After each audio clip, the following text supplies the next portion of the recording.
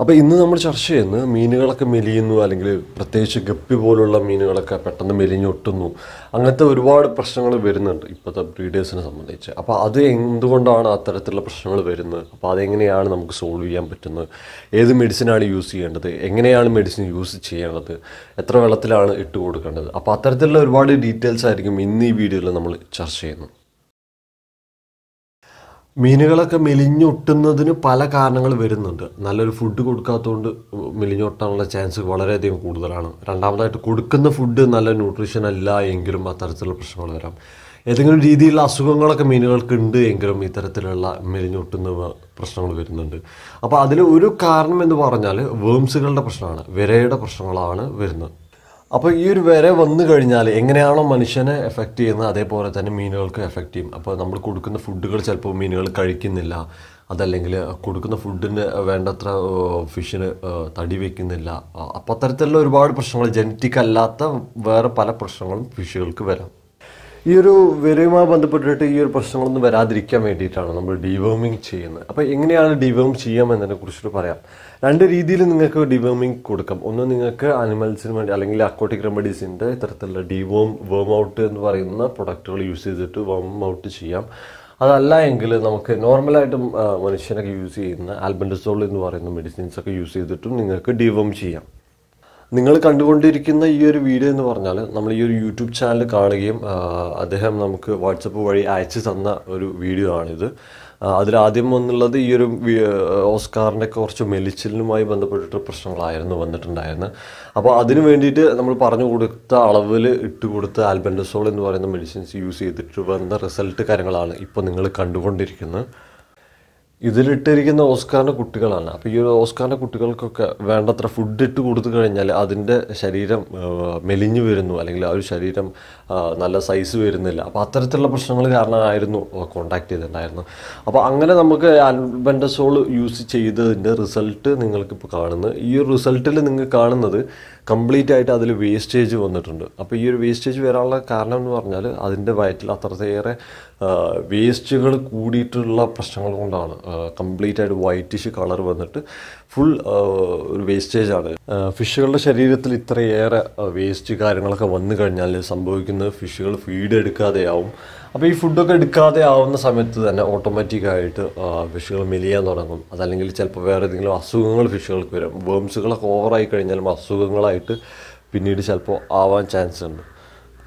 കൂടുതൽ ആളുകളും അരോണ അല്ലെങ്കിൽ ഡിസ്കസ് ഓസ്കാർ പോലുള്ള വലിയ ഫിഷുകൾക്ക് മാത്രമാണ് കൂടുതലായിട്ട് ഡിവോമിങ് കൊടുക്കുന്നത്. ചെറിയ ഫിഷുകൾക്കൊന്നും അധികം ഡിവോമിങ്ങിന്റെ കൊടു കൊടുക്കാറില്ല. അപ്പോൾ അത് എങ്ങനെയാണ് നമുക്ക് കൊടുക്കേണ്ടത് എന്നതിനെ കുറിച്ചിട്ടാണ് ഇനി പറയാൻ പോകുന്നത്.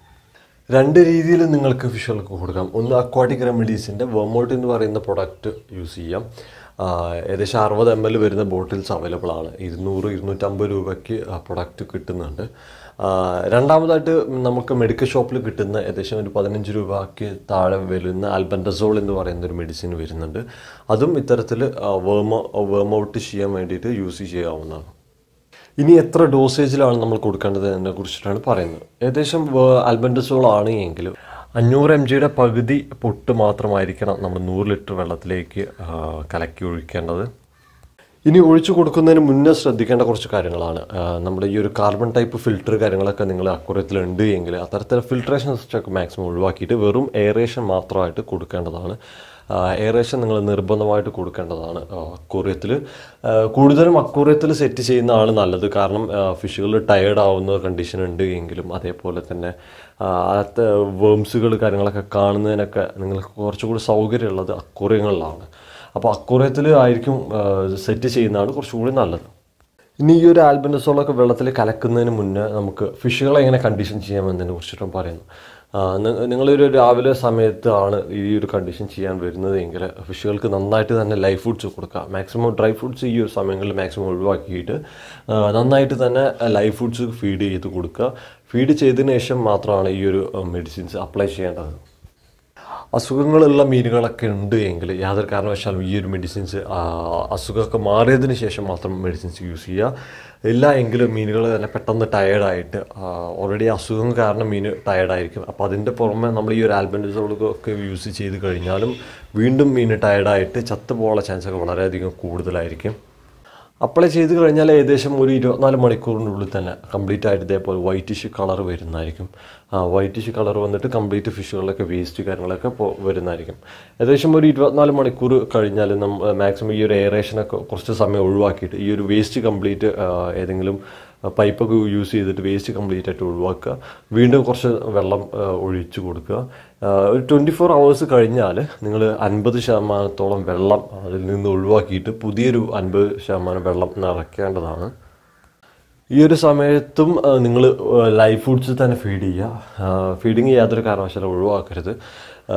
യാതൊരു പെല്ലറ്റ് ഫുഡ് മാക്സിമം ഒഴിവാക്കുക. കാരണം ഈ ഒരു സമയത്ത് ട്രീറ്റ്മെന്റ് ചെയ്യുന്ന സമയത്ത് അപ്പോൾ ഈ ഒരു ട്രീറ്റ്മെന്റ് എന്നല്ല അപ്പോൾ മെഡിസിൻസ് അപ്ലൈ ചെയ്യുന്ന സമയത്ത് മാക്സിമം ലൈഫ് ഫുഡ്സ് തന്നെ ഫീഡ് ചെയ്യുക. കാരണം ആ ഒരു സമയങ്ങളിൽ പെല്ലറ്റ് ഫുഡ് കാര്യങ്ങളൊക്കെ എടുക്കുന്നത് വളരെ കുറവായിരിക്കും. അതുകൊണ്ട് തന്നെ മാക്സിമം ലൈഫ് ഫുഡ്സ് തന്നെ ഫീഡ് ചെയ്യാൻ ശ്രമിക്കുക. ഇനി നിങ്ങൾ വേമോട്ടാണ് യൂസ് ചെയ്യുന്നതെങ്കിൽ പത്ത് എം എൽ നൂറ് ലിറ്റർ എന്ന രീതിയിലേക്ക് നിങ്ങൾക്ക് വെള്ളം എടുക്കാവുന്നതാണ്. അപ്പോഴും ബാക്കി ഈ പറഞ്ഞിരിക്കുന്ന കണ്ടീഷൻസ് ഇപ്പോൾ മീനിനെ ഫീഡ് ചെയ്യുന്ന കണ്ടീഷൻ അതേപോലെ തന്നെ എയറേഷൻ കൊടുക്കുന്ന കണ്ടീഷൻ അതൊക്കെ സെയിം തന്നെയാണ് വരുന്നത്. അതേപോലെ വാട്ടർ ചേഞ്ചിന്റെ കാര്യമായാലും സെയിം തന്നെയാണ് വരുന്നത്. ട്വന്റി ഫോർ ഹവേഴ്സ് കഴിഞ്ഞാൽ അൻപത് ശതമാനം വെള്ളം നിറയ്ക്കുക. അത് കഴിഞ്ഞ് വീണ്ടും ഒരു ട്വന്റി ഫോർ ഹവേഴ്സ് കഴിഞ്ഞാലും ഈ ഒരു പ്രോസസ്സ് തന്നെ ചെയ്തുകൊണ്ടിരിക്കുക. ഏകദേശം ഒരു രണ്ടോ മൂന്നോ ദിവസം അതേപോലെ തന്നെ വാട്ടർ ചേഞ്ചിങ് കാര്യങ്ങൾ നിങ്ങൾ നിർബന്ധമായിട്ട് ചെയ്യണം. അതേപോലെ തന്നെ അതിൽ വരുന്ന വേസ്റ്റും സെപ്പറേറ്റ് ഒരു പൈപ്പ് യൂസ് ചെയ്തിട്ട് വലിച്ച് ഒഴിവാക്കേണ്ടതാണ്. ഫിഷുകൾക്ക് യാതൊരു കാരണവശാലും ഓവർ ഡോസേജിലൊന്നും ഈ ഒരു മെഡിസിൻസ് യൂസ് ചെയ്യരുത്. കാരണം ഈ ഓവർ ഡോസേജ് ആയി കഴിഞ്ഞാൽ ഫിഷുകൾ പെട്ടെന്ന് തന്നെ തളർന്നു പോകും. നമ്മൾ ഈ ഒരു ആൽബൻഡസോൾ കൊടുത്താൽ തന്നെ അല്ലെങ്കിൽ ഈ ഒരു വേമോട്ട് കൊടുത്താൽ തന്നെ ഫിഷുകൾ തളർന്നു പോകും പെട്ടെന്ന് തന്നെ. അപ്പോൾ അതുകൊണ്ടാണ് നമ്മൾ പലപ്പോഴും ലൈഫ് ഫുഡ്സ് എപ്പോഴും ഫീഡ് ചെയ്ത് കൊടുക്കണം എന്ന് പറയുന്നത്. ഓവർ ഡോസേജ് ആവാതെ തന്നെ എപ്പോഴും ശ്രമി ചെയ്യാൻ തന്നെ ശ്രമിക്കുക. ഫസ്റ്റത്തെ പ്രാവശ്യം നമ്മൾ ഡീവോമിങ് ചെയ്ത് കഴിഞ്ഞാൽ അടുത്ത പ്രാവശ്യം ചെയ്യേണ്ടത് ഏകദേശം ഒരു മാസത്തെ ഗ്യാപ്പ് ഇട്ടിട്ട് ചെയ്യുന്നതായിരിക്കും കുറച്ചും കൂടി നല്ലത്. എപ്പോഴും നമ്മൾ ഡിവോമിങ് ഓവറായിട്ട് കൊടുത്തു കഴിഞ്ഞാലും പ്രശ്നങ്ങൾ വരാൻ ചാൻസ് ഉണ്ട്. ഫിഷുകൾ പെട്ടെന്ന് തന്നെ തളർന്നു പോകും. അപ്പോൾ അത്തരത്തിലുള്ള പ്രശ്നങ്ങൾ വരാൻ ചാൻസ് ഉണ്ട്. അപ്പോൾ അതുകൊണ്ട് തന്നെ ഒരു ഒരു മാസം ഇടവിട്ടിട്ടൊക്കെ കൊടുക്കുന്നതാണ് നല്ലത്. ഇനി പറയാൻ പോകുന്ന ഈ മെഡിസിൻസ് എവിടെ കിട്ടുമെന്നതിനെ കുറിച്ചിട്ടാണ്. ആൽബൻഡസോൾ നമ്മൾ മെഡിക്കൽ ഷോപ്പിൽ നോർമലായിട്ടുള്ള മെഡിക്കൽ ഷോപ്പിലൊക്കെ നമുക്ക് വാങ്ങാൻ കിട്ടുന്ന ഒരു പ്രൊഡക്റ്റാണ് ഏകദേശം ഒരു പതിനഞ്ച് രൂപയ്ക്ക് താഴെ മാത്രമേ അതിന് പ്രൈസ് വരുന്നുള്ളൂ. നമ്മൾ വേമൗട്ട് എന്ന് പറയുന്ന പ്രൊഡക്റ്റ് ഇപ്പോൾ കുറച്ച് അക്വറിയ ഷോപ്പുകളിൽ മാത്രമേ കാണുന്നുള്ളൂ. കാരണം ആ ഒരു പ്രൊഡക്റ്റ് യൂസേജ് വളരെ കുറഞ്ഞ ആളുകൾ മാത്രമേ യൂസ് ചെയ്യുന്നുള്ളൂ. നിങ്ങൾക്ക് പ്രൊഡക്റ്റ് അക്വറി ഷോപ്പുകളിലൊന്നും കിട്ടുന്നില്ല എങ്കിൽ നിങ്ങൾക്ക് ഓൺലൈനായിട്ട് നോക്കാവുന്നതാണ്. ഓൺലൈനിൽ നോക്കേണ്ട ലിങ്ക് കാര്യങ്ങളൊക്കെ അതിന്റെ ഡീറ്റെയിൽസ് കാര്യങ്ങളൊക്കെ ഞാൻ ഡിസ്ക്രിപ്ഷനിൽ കൊടുക്കുന്നുണ്ട്. ഈ ഒരു വിഷയവുമായി ബന്ധപ്പെട്ടിട്ട് നിങ്ങൾക്ക് എന്തെങ്കിലും സംശയങ്ങളൊക്കെ ഉണ്ട് എങ്കിൽ നിങ്ങൾ തീർച്ചയായിട്ടും കമന്റ് ചെയ്യുക. അതേപോലെ തന്നെ നിങ്ങൾക്ക് വേറെ ഏതെങ്കിലും രീതിയിലുള്ള അസുഖങ്ങൾ കാര്യങ്ങളൊക്കെ വരുന്ന വരുന്നവരാണ് എങ്കിലും അത്തരത്തിലുള്ള കാര്യങ്ങൾ ഡീറ്റെയിൽ ആയിട്ട് തന്നെ നിങ്ങൾ താഴെ കമന്റ് ബോക്സിൽ കമന്റ് ചെയ്യുക.